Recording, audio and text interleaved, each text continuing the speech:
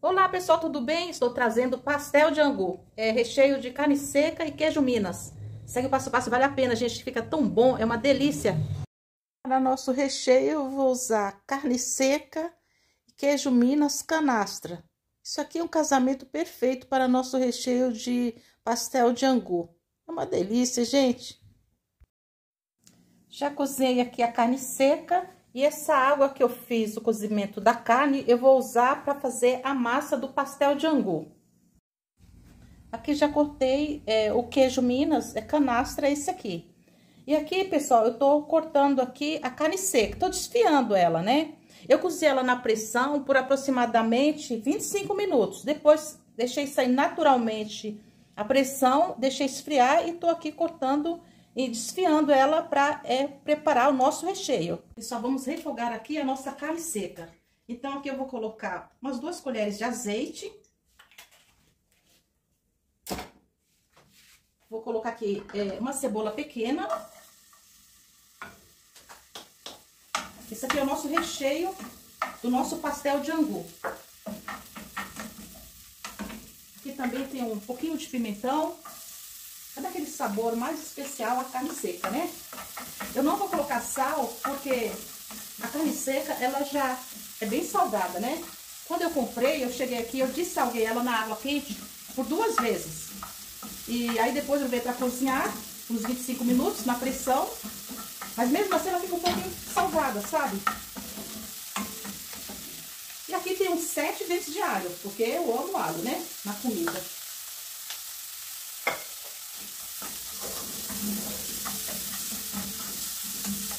Bom, gente.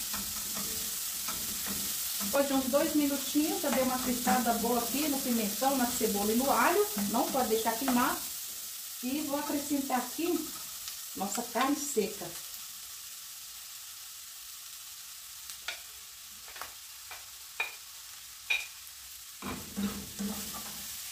Esse aqui é o nosso recheio, nota mil, né? A carne seca é saborosa demais. Eu vou fazer com queijo Minas. O queijo, ele já é um pouco salgado, né? Aquele canastra. Então, por isso que eu não vou colocar sal aqui também. Olha que maravilha que fica isso aqui. Deixa eu experimentar aqui. Tá me dando água na boca. Nossa. Divino isso. Refoguei rapidinho aqui. Vou desligar e colocar... É, eu tô colocando coentro e cebolinha. Cheiro verde aqui. Carne, eu gosto de usar coentro com a carne.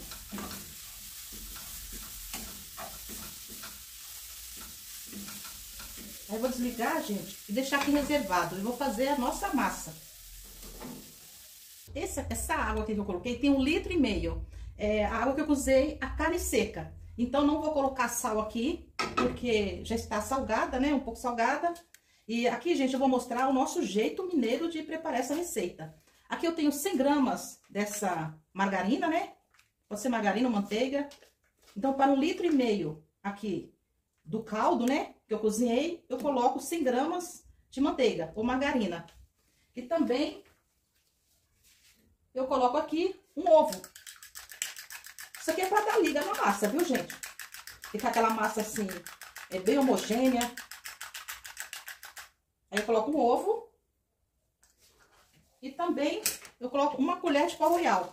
Esse é o jeito que a gente tem o hábito de preparar. Agora eu vou deixar fervendo aqui. E na sequência eu vou colocar 700 gramas de, é, de fubá. Então, aqui eu tenho 1 quilo, mas eu vou usar só 700. Eu deixo 300 gramas, que na, no final, quando a gente tá enrolando lá, modelando os pastéisinhos, aí se precisar, você passa no fubá. Já começou a ferver, então deixa eu começar a colocar o fubá. Aí você vai adicionando, vai mexendo.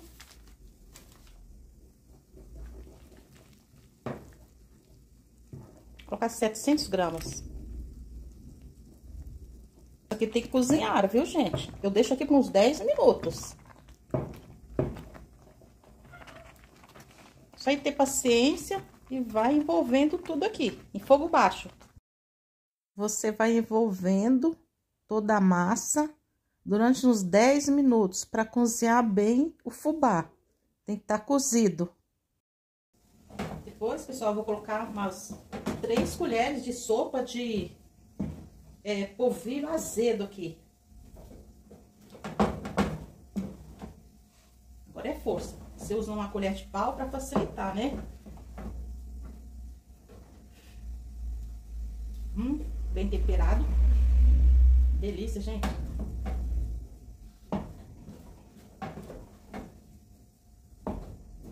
Quero agradecer as minhas amigas que me ajudam tanto.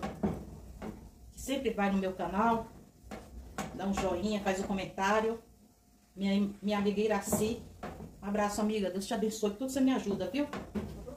É, também a Caça Ternura. A Vânia. A Rê. A Gorete.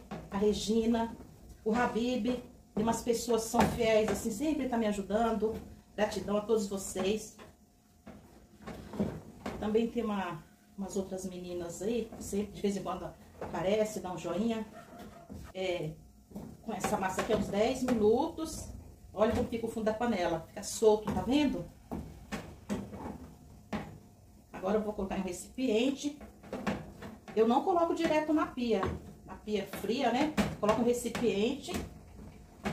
Que aí eu vou colocar três colheres do polvilho azedo. Vou deixar esfriar um pouco, né? Não pode enfiar a mão aqui na hora que estiver preparando com ela muito quente, né? Olha que belezura, gente. Olha isso. Show, né? Já vou desligar aqui. Aqui eu tenho polvilho azedo. Vou colocar três colheres aqui. Receitinha mineira nota mil, gente. Isso aqui é bom demais. Ô, pessoal, aproveitando, deixa um joinha para mim, inscreva no canal, assiste aos vídeos e ative o sininho das notificações para receber os vídeos. Para me ajudar no engajamento, manda uma mensagem para mim. Super abraço para você e gratidão. Você usa uma panela grossa para facilitar e de cabo, te ajuda muito. Eu adoro panela de cabo. Gente que mexe cozinha, gosto de queimar, né? Olha como vai ficando. Pode desperdiçar nada, aproveitar tudo. Já tá frio aqui. Que esperar esfriar, viu, gente? Olha que massa maravilhosa. Ó, não gruda na mão. Agora vamos preparar, vamos modelar os nossos pastéis. A chuva já vai passar, vizinho, tá bom? Já vai passar a chuva. Então, gente, tá aqui esfriando, né? Porque tá chovendo muito aqui. E aqui eu vou fazer o seguinte, nesse recipiente eu vou colocar o restante aqui do fubá. Caso precisar passar os pastéisinhos, se ficar grudando, eu passo aqui nesse restante de fubá. Aí eu vou colocar aqui do lado. Só olha o que você faz. Você passa aqui no rolo, deixa ele mais grosso. Aí você vem aqui com a mão mesmo, mãos limpas, coloca o recheio Coloca o queijo. Aí você fecha. Faz assim, ó. Que já dá o tamanho certo. Eu tô fazendo com uma xícara mesmo. Que é o tamanho que padrão que eu gosto de usar. Aí que você vê se ficou abertinho, dá uma arrumada, né? E já coloca aqui no, no fubá. Dá uma arrumadinha aqui, porque ele fica soltando mesmo. E aí você vem aqui, passa no fubá e vai separando. Você nunca coloca um sobre o outro. você vai deixando separadinho assim, ó. Aí você vai deixando separado. Rende bastante, viu? Já fiz quase tudo, já deu uns, uns 40 já. Todos os pastéis de angu modelados, tudo separado aqui. Agora vamos fritar. Aqui nesse recipiente eu coloquei bastante óleo. Tem que estar tá muito quente. Enquanto o óleo vai esquentando, você coloca um guardanapo aqui. Na hora que você tirar os pastéis, vai escorrer o óleo aqui, tá bom?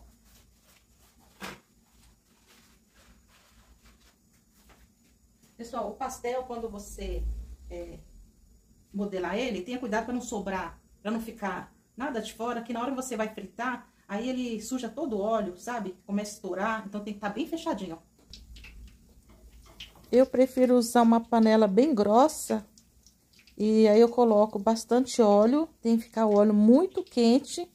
E os pastéis, você pode observar que estão todos submersos. É o ideal para a fritura dos pastéisinhos. Vou deixar fritar. Pastelzinho de angu. Isso aqui é uma delícia, gente. Fazendo aqui com carne seca e queijo Minas. Olha, quando ele começa a fritar, aí ele, quando tá subindo, já tá na hora de virar o pastel, tá vendo? E vamos fritando aqui, né? Fogo bem alto. Tá vendo que o óleo ficou umas sujeirinhas? Olha, esse aqui estourou, tá vendo? Aí fica as sujeirinhas aqui no óleo. Eu não gosto quando acontece isso. Já estamos concluindo aqui a fritura, né? Pessoal, é fritura. Mais uma vez ou outra, não tem jeito. A gente tem que que fazer, não adianta. Porque é muito bom, gente, é uma delícia. Aí você põe para escorrer assim. Olha que maravilha que tá ficando aqui nossos pastéis de angu. Esses são os nossos pastéis de angu. Eles estão recheados com carne seca e queijo Minas. Agora vamos saborear essa delícia. Pessoal, fica muito sequinho. Você tem que deixar escorrer bastante o óleo. Espero que tenha gostado da nossa receita de hoje. E agradeço muito ficar com a gente até o fim do vídeo. Super abraço, pessoal. Até o próximo. Tchau!